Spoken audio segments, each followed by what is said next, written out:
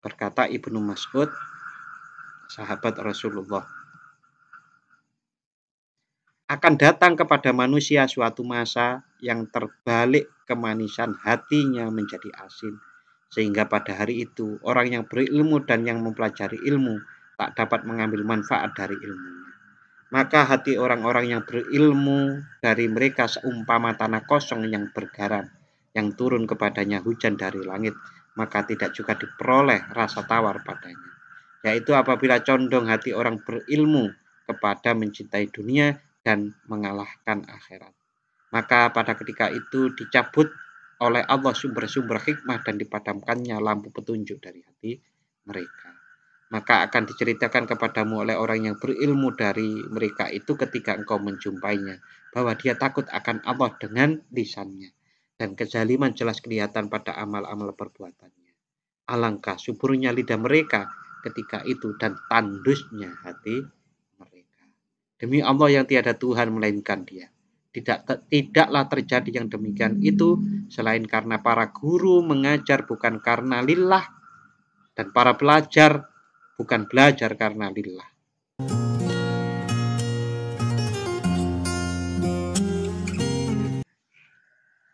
Bismillahirrahmanirrahim. Qala asy Abu Hamid Muhammad Al-Ghazali fi ulu fi Ihya Ulumiddin. Wa qala lan dawuh sapa Muad sahabat Muad rahimahu rahimahullah mudah-mudahan Allah merahmati Ikhdaru dia sapa sira kabeh. Wa zillata al wa zillatal alimi ing keplesete wong alim. Di anna qadrahu krana setuhune pangkate alim indal kholki ing dalam sandingi masyarakat iku azimun agung. Fayat tabi'u mongko anut sapa makhluk al kholki hu ing alim ala zillatihi ing atase keplesete wong Takutlah kalian terhadap terplesetnya orang alim karena orang alim itu mempunyai kedudukan di masyarakat yang tinggi yang masyarakat itu mengikuti apa yang menjadi kelakuannya menjadi perbuatannya saat orang alim itu kepleset maka manusia-manusia itu masyarakat juga mengikuti ke keplesetan harus hati-hati betul. Termasuk guru sebetulnya. Guru, kiai, ustadz, ulama, tokoh-tokoh gitu. Jangan sampai terpleset. Paling enggak kalau kepleset itu ya enggak ada yang niru gitu. Bagaimana caranya terpleset enggak ada yang niru? Ya bilang, eh, saya salah. Saya kepleset. Jarang ya melihat orang mengaku salah, jarang ya. Waqala Umar radhiyallahu an. Waqala lan dawuh Umar, Umar Al Faruq, sahabat Umar radhiyallahu an. Idza jalla tatkalane salah. Sapa al alimu wong kang alim, jalla mongko salah. Bisillatihi sebab kesalahannya alim. Sapa alimun wong alim meneh minal kholqi saking makhluk. Apalagi kalau dia itu adalah orang alim yang jadi gurunya orang alim. Yang disebut kemudian kayak apa?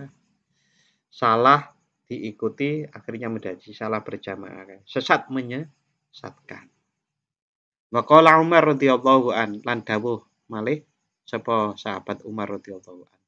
Salasun utawi perkara telu bihinna sebab telu. Yan hadimu dadi rubuh apa islamun agama Islam.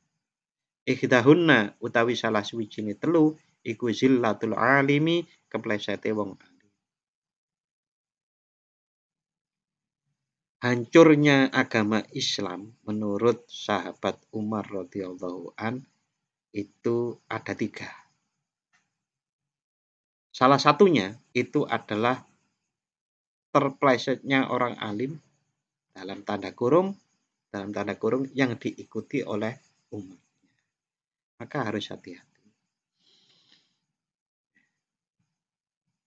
Waqala lan dawuh sapa Ibnu Mas'udin Ibnu Mas'ud. Sayakti bakal teko ala nasi ing ngatasi menungso. Zamanun zaman. tumlahu kang den uyahi fihi ing dalam zaman.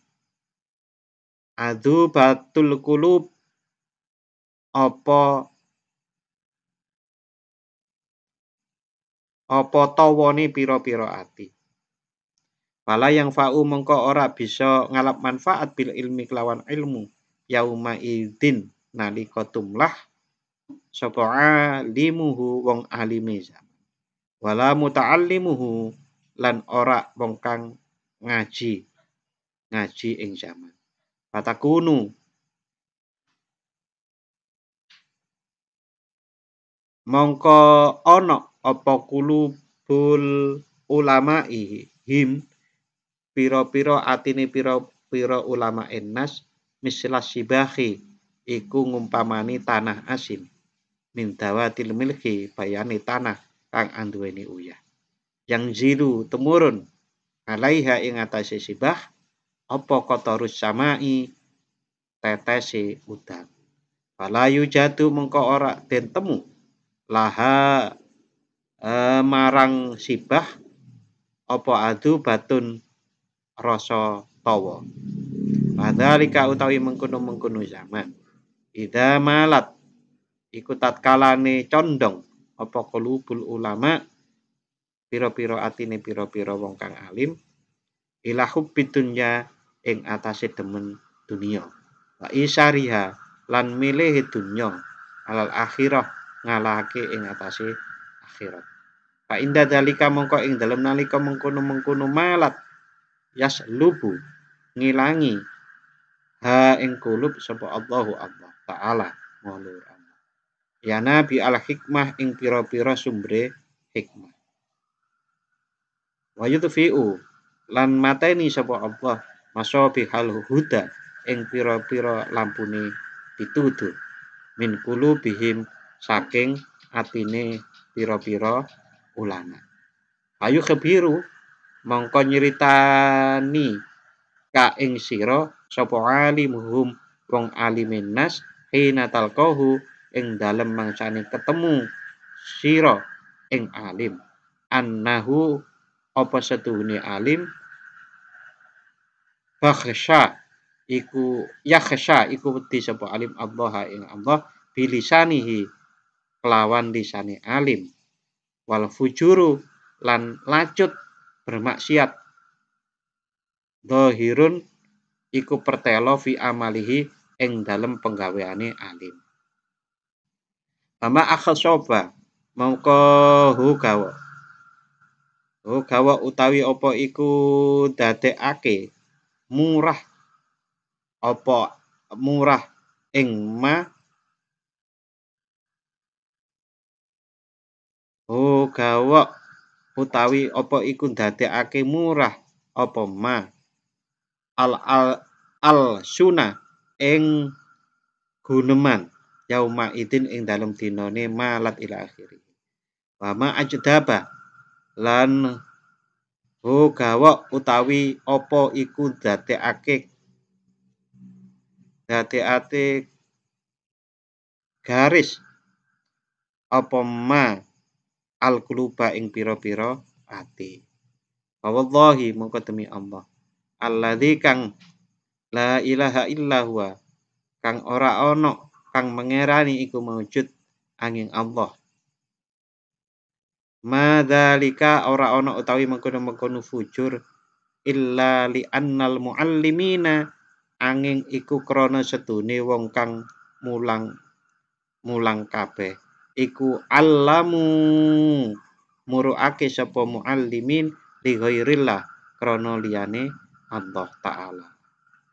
Titik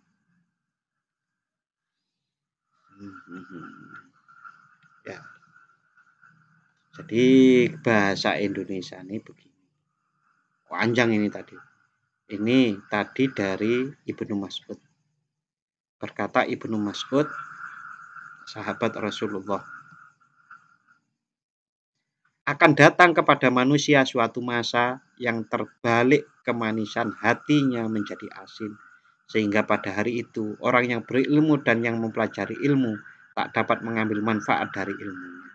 Maka hati orang-orang yang berilmu dari mereka seumpama tanah kosong yang bergaram, yang turun kepadanya hujan dari langit, maka tidak juga diperoleh rasa tawar padanya. Yaitu apabila condong hati orang berilmu kepada mencintai dunia dan mengalahkan akhirat.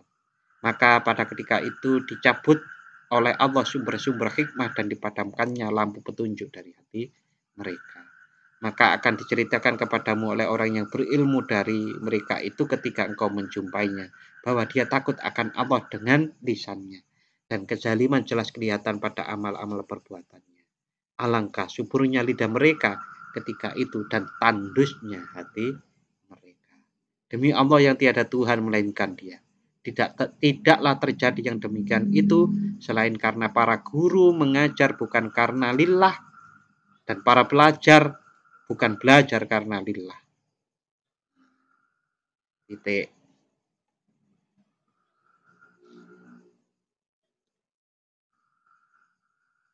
Ya, harus lillah. Ngajar lillah, belajar juga lillah.